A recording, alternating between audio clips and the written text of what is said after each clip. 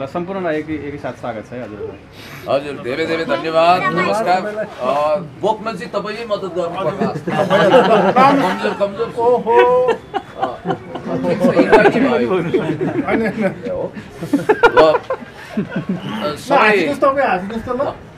सबै पत्रकार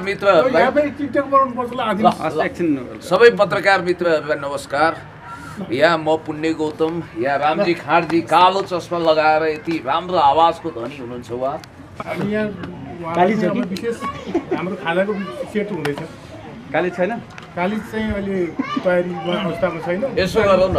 हामी चाहिँ। कुखुराबाट पनि काम चलाउँछौँ पत्रकार महोदयलाई चाहिँ कालीजीले स्वागत गरौँ अँ। त्रिको यो अँ, जोडी छ। ल ल आफ्नो नाम। मेरो नाम आभा थापा हजुर धेरै माया गर्नुहुन्छ भाइरल ड्राइभरको पनि यहाँ परिचय आउनु पर्यो। नमस्ते म सुजन बाबु गुरुङ। र यहाँ सनसाइन फ्यामिली सनहरू फ्यामिली रेस्टुरेन्टमा चाहिँ आज ओपनिङ र म चाहिँ अब गाडी चलाउने विशेष टुरिस्टहरू मेरो गाडीमा रह्यो भने चाहिँ म यहाँ ल्याएर झारिदिनेछु अहिले गाडी कहाँ छ? गाडी पार्कमा छ। ए कस्टौडी एरिया जस्तो लाग्यो मलाई। बडो राम्रो छ पारिलो घाम लाग्दो रहेछ। अहिले त घामले धोका दिने बेला भएर मात्रै नत्र यहाँ घाम यति मिठो लाग्थ्यो होला। र यो ठाउँलाई ठ्याक्कै के भनिन्छ अरे? पैयुटारको यो sun hut family restaurant Tarakeshwar नगरपालिका तारकेश्वर नगरपालिकामा अवस्थित छ र यहाँ कालिजको मासु भन्ने बित्तिकै यही ठाउँ सम्झिनु होला ठिक छ थोरै चाहिँ हामी चाहिँ रामजी सरसँग अनि जान्छौँ यहाँ नानुको पनि यसो खै ठिक छ। सुन न। एक पिस देऊ त सुन न। सुन न ल। ल। ल लेख्न सकिन्थ्यो। मनभरि पीडा छ नलेख्न सकियो नदेख्न सकियो। थोरै हामी रामजी सरसँग जान्छौँ होइन? विशेष गरी चाहिँ लोक सङ्गीतमा चाहिँ एक बेला चाहिँ होइन अहिलेको समयमा पनि विशेष गरी सबैले चिनेको अनुहार हो लोक सङ्गीतमा कुरा गर्दै गर्दाखेरि चाहिँ होइन। विशेष गरी चाहिँ आज चाहिँ तपाईँ जुन यो रेस्टुरेन्टमा चाहिँ आउनु भएको छ होइन आगामी दिनमा चाहिँ जुन कलाकारिताबाट चाहिँ के कस्तो हुनेछ यो रेस्टुरेन्टका लागि? सबैभन्दा पहिला त यो सन आउट रेस्टुरेन्ट हाम्रो सञ्चालकज्यूलाई धेरै धेरै धन्यवाद। आज यो एकदमै खुसीको कुरा हो। हामीलाई चाहिँ यहाँ इन्भाइट गर्नुभयो। ओपनिङको टाइममा पनि छ र एकदमै खुसी लागिरहेको छ कि मान्छेहरू अहिले अलिकति कोलाहाल भिडभाड भन्दा पनि अहिले नेपालीहरूले अलिकति सुनसान एकान्त होइन शान्त वातावरण चाहनेहरू हुनुहुन्छ। त्यो हिसाबले पनि अब यो ठाउँ चाहिँ एकदम उपयुक्त हुन्छ होला जस्तो लाग्छ किनभने यहाँ आउँदाखेरिको छुट्टै एक खालको आनन्द होइन? एकदम शान्त वातावरणमा फ्यामिलीहरू अथवा कोही साथीहरूसँग बसेर मजाले यो खान सकिने यो ठाउँमा चाहिँ हामीलाई पनि इन्भाइट गर्नुभयो। त्यसको लागि एकदमै धन्यवाद दिन चाहन्छु हाम्रो सञ्चालकज्यूहरूलाई। र आज विशेषले अ, हाम्रो पुण्य दाईसँग नि यो मेरो एकदम यो खुसी खबर उहाँसँग पनि भेट्न। पाएँ। अहिलेको मान्छे होइन। म पनि अहिलेको होइन। पछि दाइ भाइको नाम रामजी सरको चाहिँ उहाँ पुण्य सरसँग भेट भएको आज पहिलोचोटि हो। पहिलोचोटि हो। होइन? तर मेरो चाहिँ दोस्रो चोटि उहाँले मलाई चिन्नु भएको थिएन उहाँको एउटा प्रोग्राममा मैले उहाँलाई टाढैबाट देखाएको थिएँ तर खुसीको अब यहाँ धेरै हाम्रो भाइ बहिनीहरू। हाम्रो छोरी है सबैलाई चाहिँ आज यहाँ भेट्न पाएँ एकदम खुसी लाग्यो अनि यो एउटा गीत त जाला नि त यहाँको के कुरा मनपर्छ तपाईँलाई खानेकुरामा भनौँ न कालिजको मासु मनपर्छ कि के मनपर्छ तपाईँलाई फेभरेट खानेकुरामा खानेकुरा अब हामी नेपालीहरूलाई लोकल नै हो सबै कुरा मनपर्ने होइन? अब यहाँ चाहिँ अझ स्पेसल कालिजदेखि लिएर अन्य होइन धेरै कुराहरू चाहिँ लोकल कुखुरादेखि सबै कुराहरू सबै आइटमहरू पाइँदो रहेछ। र आज खुसीलाई आज धेरै दिन पछाडि लोकल हामी टेस्ट गर्दैछौँ होइन?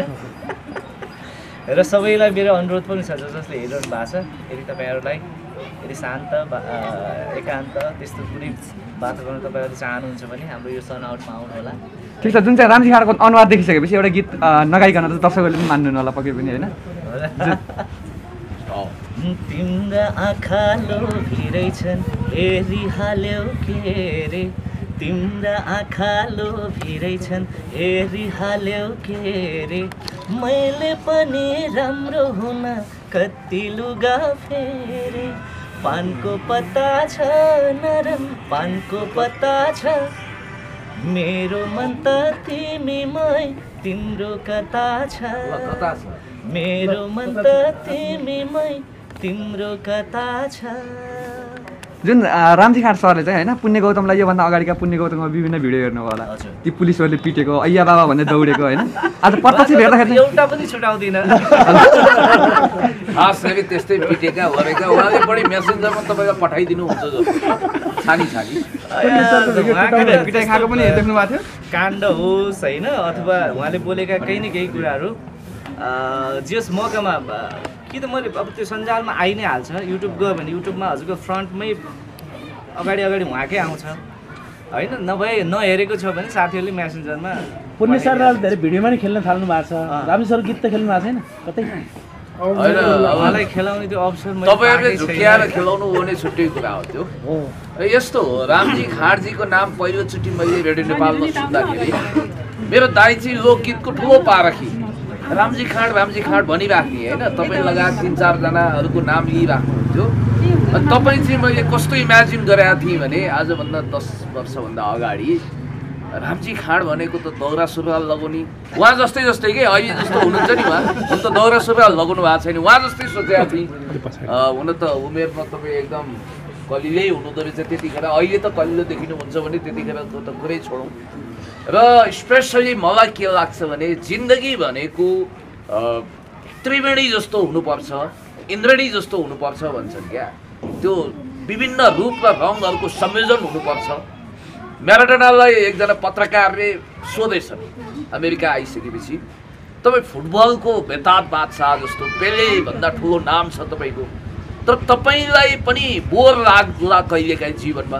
के गर्नुहुन्छ भन्दा उनले भनेका थिए म रिफ्रेसमेन्टको लागि सङ्गीत थेरापी गर्छु। वाह! शब्द कति राम्रो छ। Music therapy. सङ्गीत त थेरापी पो हो। उपचार हो र उपचारक डक्टर चाहिँ उहाँ हो। ठिक छ ठिक छ। जुन चाहिँ रामजी खाँडा चाहिँ पुण्य गौतमको अहिलेसम्मका भिडियो हेर्नु हो होइन? सबैभन्दा बढी इन्ट्रेस्ट लागेको भिडियो चाहिँ कुन चाहिँ उहाँको? हजुर। उहाँको त सबै इन्ट्रेस्ट जुन पिटेर अయ్యా बाबा भनेर दौडेको खालको यस्ता हुन्छ नि। अब हजारौँ छ फुल लाग्छ। हजारौँ छ होइन? त्यो मध्येमा पहिल्यै चिड उहाँका- चोरा भयो त्यो प्रश्न। मेरो एक्सको क्षमा दिनु उहाँले। धेरै नै हेरेको छु। धेरै नै हेरेको छु। प्राय आएका भिडियो कुनै पनि छुट्दैन। पुण्य सर यतिखेर एक्सको क्षमा रामजी खाँड छ भएको बेलामा सुनाउनु त तपाईँले अब यहाँ एक्सको छम्मा टूको तयारी गरौँ। है दाई भनेर सृजना बहिनीले भन्नुभएको छ। अब यो जम्मै पोल खोल्यो भने यहाँ सुपर फ्लप भइहाल्छु। उसै त यहाँ अब विभिन्न कुराहरू आइरहेछ। तैपनि मैले यदि अब म जहाँ जान्छु होइन जिन्दगीमा हजारौँ हजार ठाउँमा बोलियो होला तपाईँको कस्तो ज्याद र घाँटी हो जति बोले पनि केही हुँदैन कि क्या हो भन्नुहुन्छ के हुन्छ के हुँदैन त्यो त मलाई बेलुका थाहा हुन्छ होइन। त्यसभरि बोल्छु। अनि कहीँ जाँदा पनि कलेजको टिनेजर भाइ बहिनीहरू अथवा बच्चा केटाकेटीले पनि अङ्कल दाई एक्सको छम्मा भन्नुहुन्छ। अब मैले न- नभनी सुकै छैन। मेरो एक्सको छम्मा। मेरो एक्सको छम्मा। सोसो चोइ सोसो चोइ सोल्टी सोल्टिना टिकी ट्यास ट्यास। त्यो चाहिँ मैले सृजना बहिनीमा टिकी ट्यास ट्यास है भने। त्यो चाहिँ मैले थपिदिएँ र यसको हाउडी माया सृजनाले पा सेकेन्ड पार्ट निकाल्ने भनेर सब तयारी गर्नुभएको छ। करोडको क्लबमा हात्ती छिरिसकेका छ पुच्छर मात्रै अड्किया हो। त्यो करोडको क्लबमा अवश्य पनि करोड भ्युजको सलामी अवश्य खाँदैछ। चार लाखमा अड्किएको थियो कता कता म आएपछि ठेल्दिएँ मैले। यो तपाईँले खेल्दै गर्दाखेरि होइन तपाईँ यस्ता यस्ता कार्यक्रममा विभिन्न ठाउँमा जानुहुन्छ होइन गीत सङ्गीत अँ, का कुरा गर्ने हुनुहुन्छ सुटिङमा पनि जानुहुन्छ भिडियोमा पनि देखिनुहुन्छ। तर तपाईँलाई नबोलाएर आफै जानुहुन्छ भन्ने कुरो ए यो। विषयमा तपाईँसँग स्पेसल कुरा गर्छु। यहाँ म तपाईँलाई अहिले बहिना राख्दिनँ। किनभने यो भन्ने कुरो हो कि यहाँ पनि। यहाँ पनि भयो कि बोलाउनु भएन भन्ने कुरो भयो नि त। ए मलाई नबोला हो। कसरी आइपुग्यो? अन्तर्यामी हो र? यो यो काठमाडौँ भन्ने खाल्डोमा प्रेम सागर पौडेल नामक एक सुप्रसिद्ध गीतकार र मिडिया कर्मी हुनुहुन्छ। उहाँको टेलिफोन आयो र उहाँहरूले पनि सम्झना गरिसकेपछि श्री स्वस्थानी कथाको भावमा मेरो- भने अनि म यहाँ आएँ। है? ल अब भोलि पनि भयो नि कि यसो मुख मिठा पनि गर्ने कालिज सालिज कहाँ छ? कालिजको हत्या भइसक्यो। कालिजको हत्या ल भइसक्यो। हस् धन्यवाद है त केही छ विशेष धन्यवाद रानी सरलाई। Thank you